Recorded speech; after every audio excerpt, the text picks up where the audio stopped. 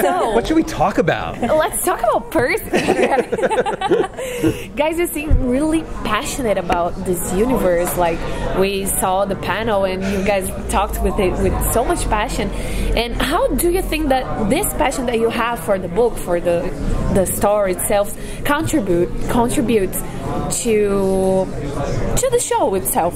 Like, can you talk a little bit about that, please? I think it's um, it's critical. I think um, if you don't believe it, if you don't feel it, um, you can't um, you can't put it on screen. And I think um, you know, spending time with these books, um, not as a fan, um, but as somebody really trying to figure out um, what do I feel in here, and and how do I um, how do I make an audience feel these things in a really visceral way? I think requires understanding what's what's important um, in the story, and and so um, that was key for the whole team. I think for for the writing staff, for producers, for cast, for for you know everybody on set to um, uh, you know be be exposed to the story in a way where it felt like you could invest in it and be proud of it and um, and be excited about where it was going. So for, for you guys, and there's like a through line um, that you do with the panel and just in, in your interviews that this is like a family.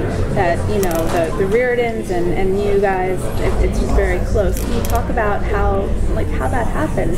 Because you know there've been other Percy Jackson properties. How do you come in new to this and you know get that camaraderie? What like what's that like?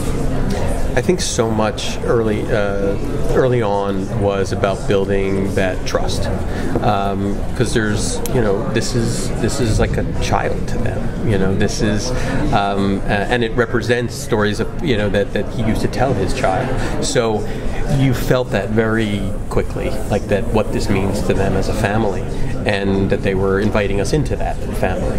Um, and so we we talked about we got fortunate that it was the early stage of the stages of this were over COVID, so we could just lock in without the pressure of oh my god, this needs to be on the air in the next two years, like or you know right away. Uh, we got to just sit there and spend a lot of time with them, many many zooms, just talking about the story, talking about why he wrote this, talking about what it means to them, what's really important, what uh, can we play with, um, and that just never stopped.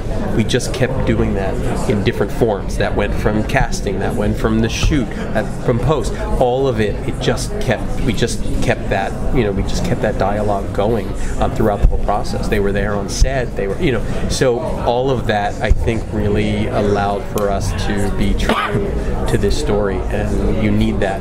You need that dynamic. You need that relationship uh, for this to work. Was there a character that just popped for you that like you find the most interesting? And if you were an actor, which character would you play? Which character would you just love to That's a play? that's That's a good question.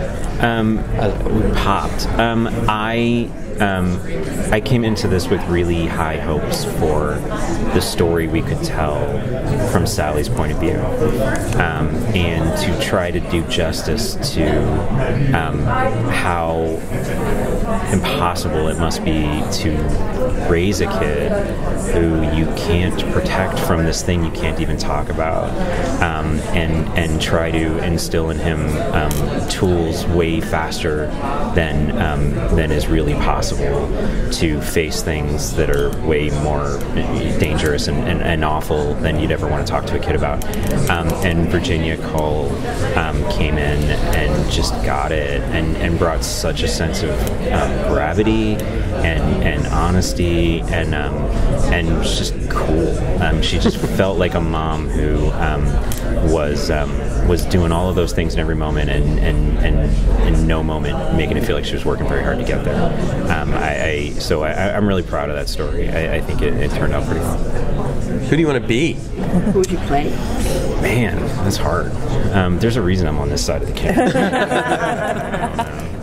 I'm the song and dance man. So, um, who do we want to? Who do I want to play? Um, probably Grover. There's just, there's just. Um, but I wouldn't do it justice the way Aryan did it. Um, he, uh, he we, we love to talk about him because he's he was just like the the heart of the group. Um, he, this this kid is you you root for him like in in a second, um, and you and, and his empathy and it, it, the, the the actor has it, the character has it, he brings it to it, um, and I just um, that character is just very fun, um, and uh, that would be it'd be fun to have goat legs too. Come on, look how fast you can jump and Do yoga. yes. I guess uh, hopefully you guys can help me with this question. So I read somewhere that each season's going to be modeled after a specific book. Season two uh, is, that, is, that, is that happening? Uh, can you guys tell us anything, or have t- discussions at least begun? Um, definitely discussions. Discussions began a long time ago. Um, I think um, you know there it hasn't been ordered, um, but there are people who spend some time in their days thinking about it and working on it. So make of that what you will. I guess. Yeah, did you approach this project looking at all of the books and just kind of thinking, how do I want to divide up telling the story? Just like, let's just assume it's going to go forever, and, you know? Or did you just come in and say, okay, this is the story to tell right now?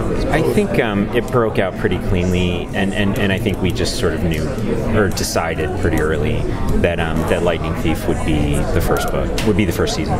Um, if we get to season five and we finish that book, and we'll just get Rick to keep. I would say writing, he's, he's still writing more. Yeah. So. Uh, but yeah, I, I, I think um, you know we, we were able to. It was helpful to have all five books to inform this season, to, to inform the Lightning Thief. You know, Easter egg things that we could put in there, um, things that we know where it's going, so that we can make sure we're landing in, in, in season. and things we know it's about. You know, things Yeah. I think that um, that that Rick's been very open about, and it- like uh, the fact that he he discovered things as he was writing. You know, he didn't know, you know, several thousand Yeah. pages, you know, ago what, what this was going to turn into. And so I think knowing that on some level this is a story about Percy's humanity as much as it is his his divinity um, is a thing that having read book five, you come to it informed in, in a way where you can build all of the first steps in a, in a, a way that um, feels part of a whole.